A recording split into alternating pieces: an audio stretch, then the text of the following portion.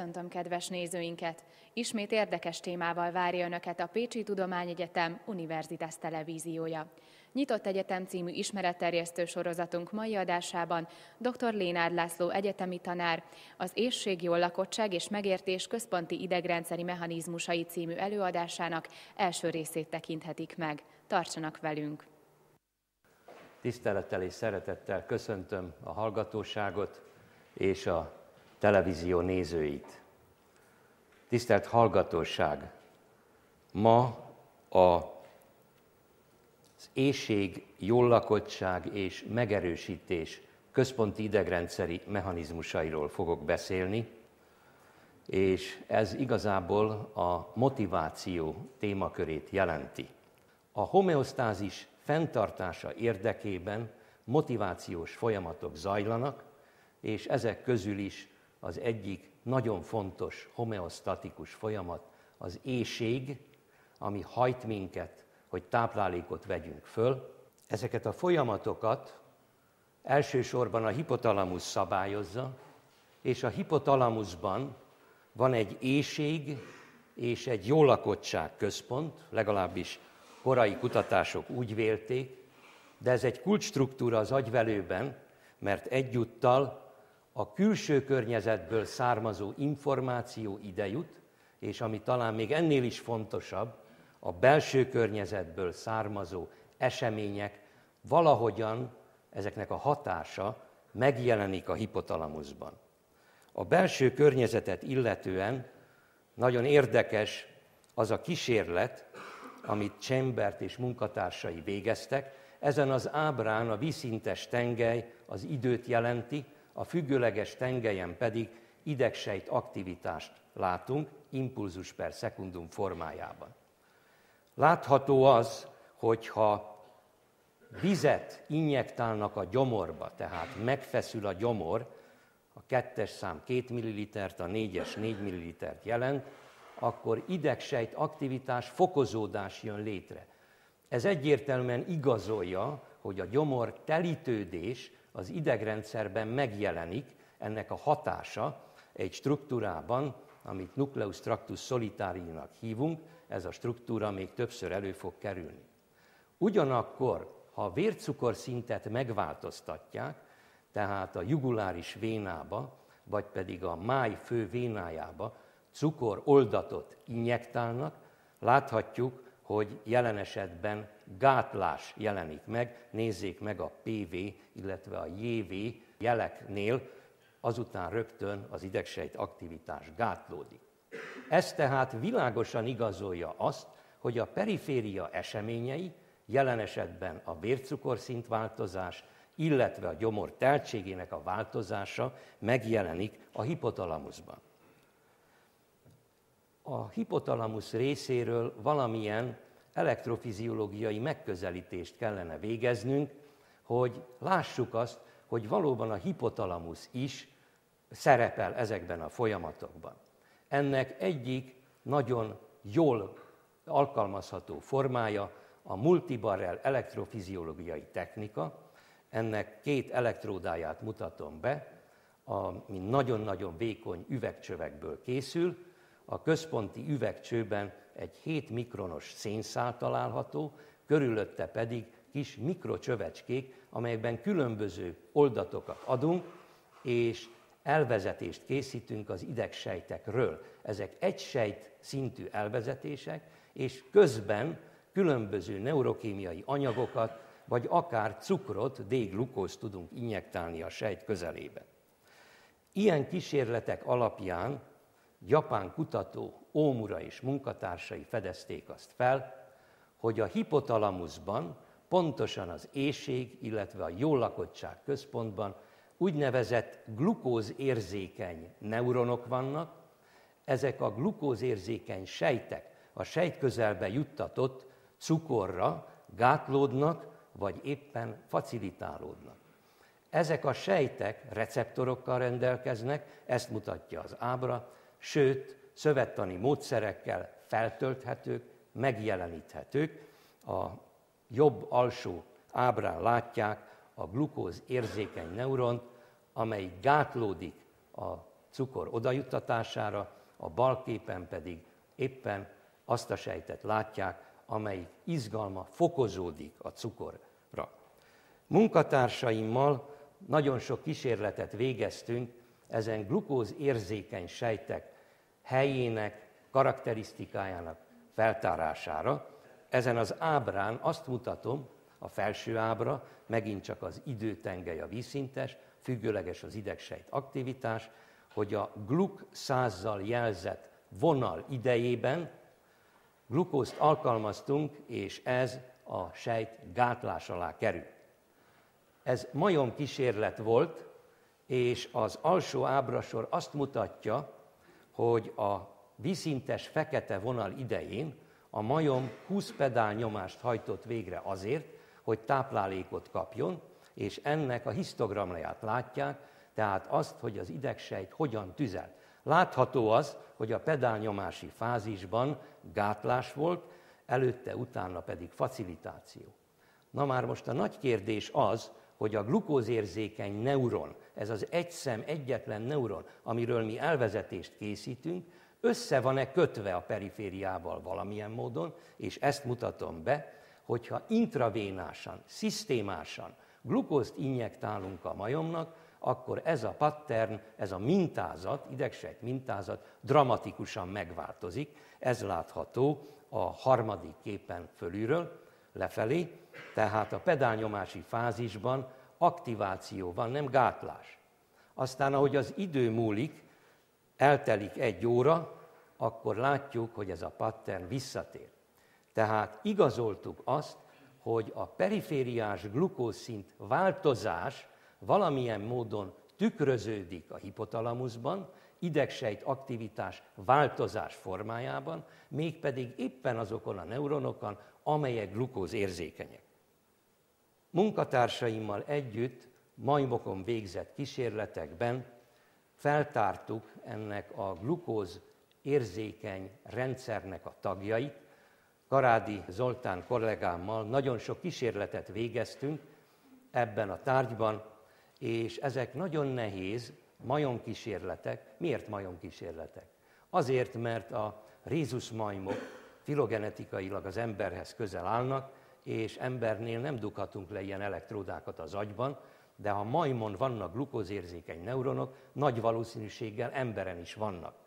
A bal felső sarokban látjuk a kísérleti elrendezést, a majomnak ez nem fájdalmas, hiszen éppen itt, ebben a környezetben kap enni, pedált nyomogat azért, hogy kapjon banánt, és közben a fejéből elvezetést készítünk. Ezen a bonyolult ábrán csak azt szeretném demonstrálni, hogy a máj, hasnyálmirigy és a gyomor-bél rendszerből eredő jelek fölkerülnek a hipotalamuszba, és ebbe a nagyon bonyolult rendszerbe, ami a limbikus rendszert jelenti, egyébként azt a rendszert, amelyik az érzelmeinket és irányítják, a tanulási folyamatokban vesznek részt, az emócióink és a tanulás pedig nagyon szorosan összefügg. Ezek között az alsóbb struktúrák, mint amigdala, hipotalamusz közismertek, de nézzük meg a legfelső struktúrát, az az orbitofrontális kéreg, ami tulajdonképpen a homlok lebenyünkben található, embernél rendkívül fejlett struktúra, és még többször elő fog kerülni az előadás során.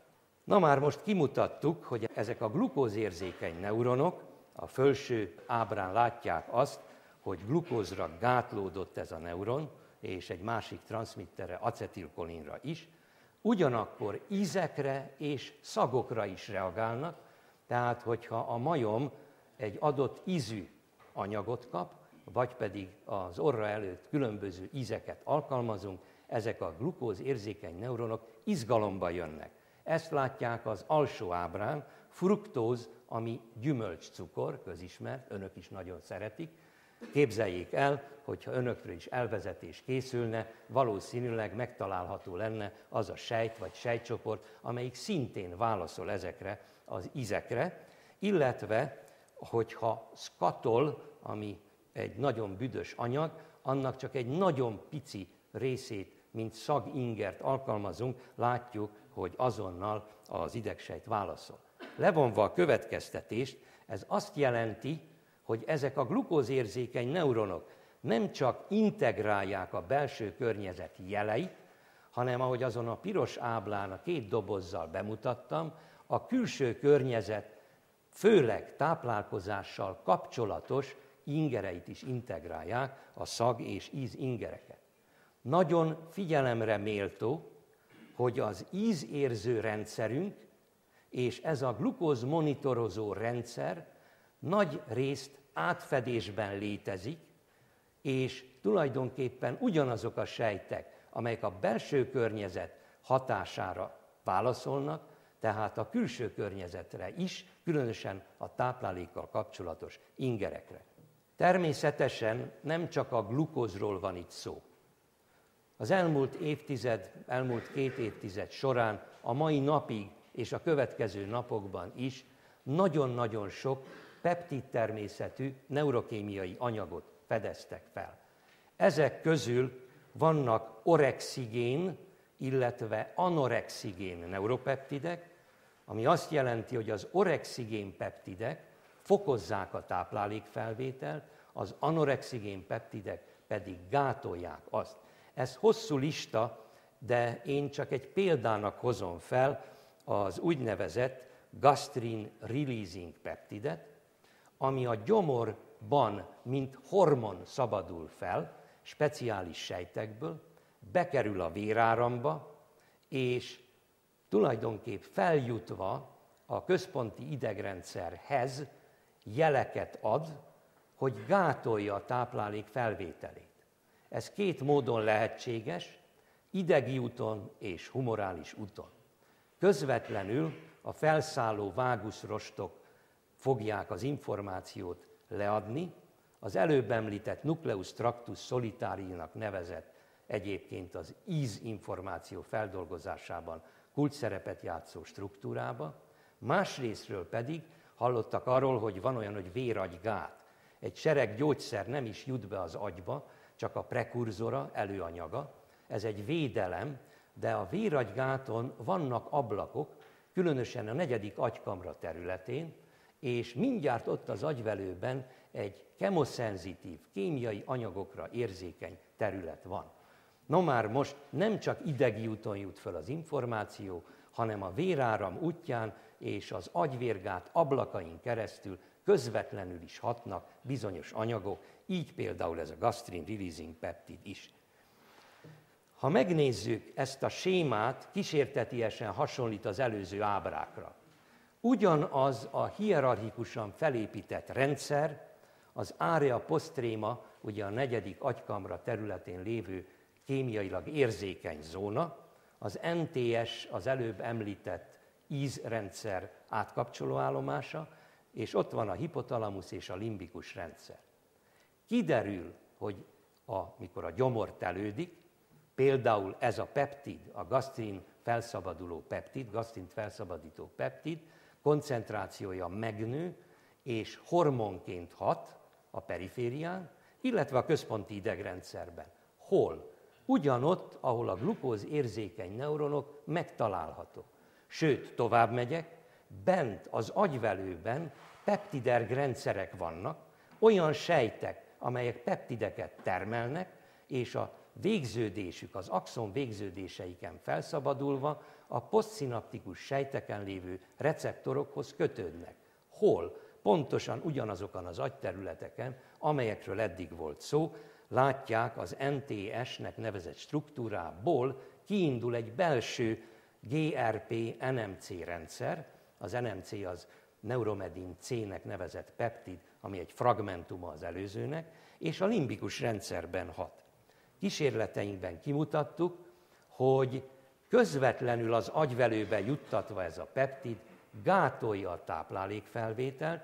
Ugye a piros oszlopok mutatják ennek a peptidnek a hatását, a világos oszlopok pedig a kontrollméréseket patkánykísérletben. Látható az, hogy a táplálékfelvétel csökken, sőt az evés hatékonysága is csökken, és a evések között eltelt idő megnövekszik.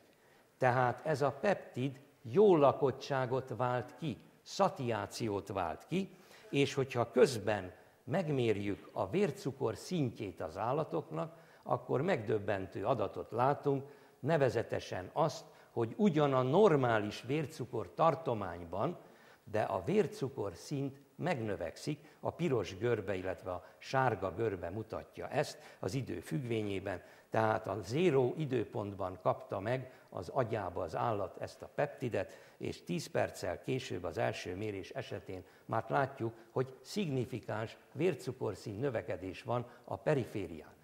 Tehát nem csak arról van szó, hogy a vércukorszint a perifériáról információ a központnak, hanem fordítva is igaz, arról is szó van, hogy a központ az visszajelez a periféria felé. Továbbá ezek a glukózérzékeny neuronok, ezek peptidekre is érzékenyek. A felső ábrán egy grelinnek nevezett peptid, látjuk, hogy gátolja az idegsejt aktivitást, ami az alsó ábrán mutatja, hogy ez egy glukózérzékeny neuron, glukózra facilitálódott. Ez mind nagyon szép, a kalóriák és az oxigén és ez a csodálatos agyi rendszer, de hogyan magyarázunk meg olyan eseményeket, amit a képen látunk, ez a Kanadában Nemzeti Parkban felvett kép, ahol ugye a szarvasok eszik a sózott heringet. Még érdekesebb kép, ugye Vanda Virvicka világhíres kísérlete, amikor a kismacska banánt eszik. Az anya macska elektromos ingerlést kap, jutalmazó ingerlést, és elkezdi enni az előtte lévő banánt, amit nem szokott fogyasztani és a gyermeke, a kismacska oda megy, és látja az anyai példát, elkezdi minden egyéb beavatkozás nélkül enni a banánt. És miután ezt megszokta, felnőtt korában preferencia van, a banánt részesíti előnyben a hússal szemben. Ez tehát azt jelenti, hogy nem csak metabolikus, anabolikus kérdéskörnél vagyunk, amikor a táplálkozásról beszélünk, mert a táplálék az egy jutalom, és a jutalomnak a minősége rendkívül fontos, különösen táplálékválogatás esetén. Egy hedonikus értékelést végez az agyvelő, tehát értékeli az élvezeti értékét a táplálékoknak, és a táplálékoknak ugye ízük van, szaguk van, van textúrájuk, tapinthatóságuk, konzisztenciájuk, nem közömbös a látvány, gondoljanak csak magukra, egy szép kacsasültre például, hogy hogyan viszonyulnának hozzá, és szociális faktorok, és a tanulás és memória mind részt vesz ebben. De nem csak erről van szó, hanem arról, hogy amikor kedvező vagy kedvezőtlen táplálékot fogyasztunk, ennek van egy genetikailag rögzült kifejeződése, ingesztív, fogyasztó, elfogadó, illetve rejektív, taszító, nem akarom megenni kifejezése. Kezdjük ezzel. Nagyon híres magyar származású kutató, Jakob Steiner, aki Izraelben dolgozik, fedezte azt fel, hogy embernél, állatnál ezek az ingesztív és rejektív válaszok mimikája, motorikája nagyon-nagyon hasonló. Most csak azt kérem, hogy a bal ábrának a D képsorát nézzék függőlegesen fölülről lefele, ez a keserű kinin szájba juttatása utáni motoros választ mutatja, újszülöttnél, egészen fiatal csecsemőnél, anenkefálnál, akiket ma már, hála Istennek, a genetikai fejlődése miatt nem látunk, tehát olyan torz szülöttnél, akinek a agykérge hiányzik, és fél egy napot él, ma már hála Istennek az orvostudomány előrehaladása következtében nem látjuk. De látjuk ezt a jobboldali képen is, a D sorozatot nézzék, vak fiatalembernél, a második kép születésétől vak, látjuk lejjebb oligofrénnél is, a legalsó képen patkánynál is.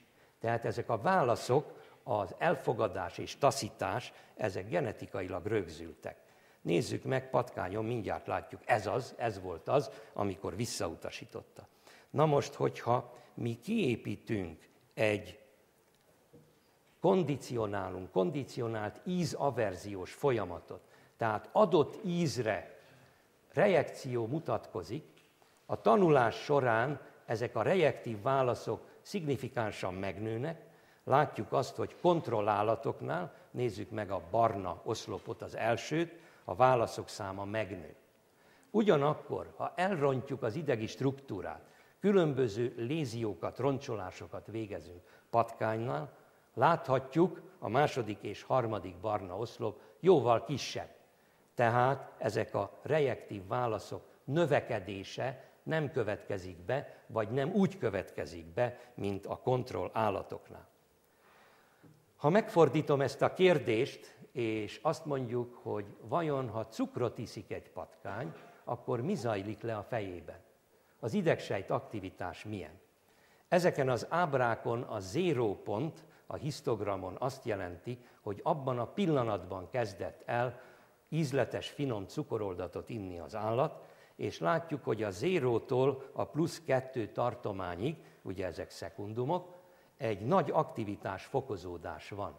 Tehát jutalmazási fázisban ezek az idegsejtek aktivitása fokozódott. Sőt, megtanulja az állat, hogy pozitív, nagyon finom jutalmat fog kapni, és kialakul egy predikció, egy előrejelzés. Fölülről a második ábrán látják, hogy a nulla pont előtt gátlás van, egyébként a gátlás szervezési szempontból épp olyan fontos kérdés, mint a facilitáció, és a következő ábrán pedig éppen, hogy facilitációt látnak, tehát az idegsejt előre várja a finom jutalmat. Ez a rendszer, a glukóz monitorozó rendszer első tagja a prefrontális kéreg, ami embernél a legfejlettebb, és majomnál is rendkívül fejlett, és ahogy mutattam korábban, itt glukózérzékeny neuronok vannak, ezt mutatja a felső ábra, de ezek a sejtek dopaminra is érzékenyek, ami az egyik jutalmazással kapcsolatos legfontosabb transmitterünk. Ugyanakkor az alsó ábra a nátriumklorid és a kinin hidroklorid, tehát a sós, illetve a keserű ízekre is választ mutatnak. Itt, ezen az agyterületen, az orbitofrontális kéregben Edmund Rolls kollégával, oxfordi nagyon híres kutatóval kimutattuk majmon, hogy különböző zsírnemű anyagokra is válaszolnak az idegsejtek az orbitofrontális kéregben.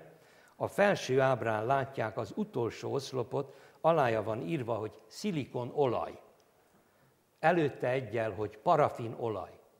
Hát ezeknek az anyagoknak semmi közük a táplálék felvételhez, mégis idegsejt aktivitás változást váltanak ki, ami azt jelenti, hogy zsírnemű textúrája, tapintata van ezeknek az anyagoknak, tehát a kéregben olyan sejtek is vannak, amelyek a textúrára is érzékenyek. Sőt, hogyha tejföld, nagyon sűrű tejföld kap az állat, az alsó ábrán látják az elfogadási, visszautasítási görbét, az idő függvényében látjuk az elfagyasztott tejföl mennyiségét, és a függőleges tengely mutatja, hogy mennyire fogadta el, vagy visszautasította. Ugye a zéro a neutrális pont. És hogyha megnézzük a vastag piros és két oszlopot, a zsíros tejfölre adott idegi választ, akkor látjuk, hogy jól lakatás előtt magas idegi aktivitás van, ha jól lakott, akkor pedig az idegsejt aktivitása csökken. Világosan mutatva, hogy tehát az idegsejtek a táplálék textúrájára, a telítődésre, a jól lakatásra mind-mind válaszolnak. Ez a humán prefrontális kéreg, amit itt mutatok, és azért fontos ez, mert szintén Edmund Rolls mutatta azt ki, hogy a limbikus rendszerben lokalizálhatók azok a területek, amelyek az ízekre és szagokra válaszolnak. Itt funkcionális emeri képeket látnak, és azt látjuk, hogy a homloklebenyben, a felső képen, illetve alul, az alsó két képen, az amigdalának nevezett agyterületen reprezentálódik az ízzel kapcsolatos információ.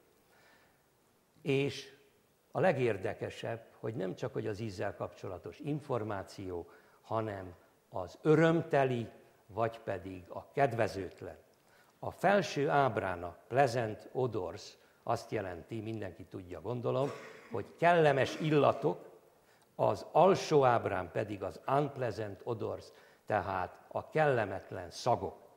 És ha megnézzük a különböző bekarikázott területeket, azoknak az agyi aktivitása változott meg, igazából a kellemes és kellemetlen nézzék meg a legfelső és legalsó ábra piros karikázott területét, tulajdonképp nagyon közel van, de a reprezentációja más. Ilyen humán vizsgálatokkal tisztázható majd a továbbiakban az ízek, a szagok és a hedonikus értékelés reprezentációja. Köszönöm a figyelmet!